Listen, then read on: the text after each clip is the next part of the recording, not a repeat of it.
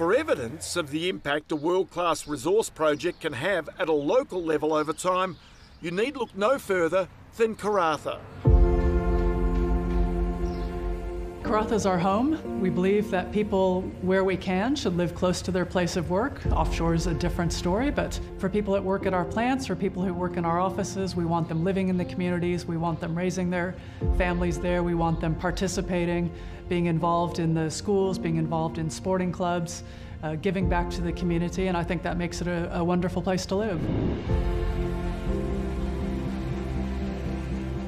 Woodside is clearly invested in being a, a, part of the community. They have a large number of employees who live in the community and they support that. They're also providing us with funding and support in running our services and creating great infrastructure that creates a, a much more livable community. So Woodside touches the Karratha community in a lot of different ways. We have a really vibrant community and vibrant community events because of Woodside's contribution.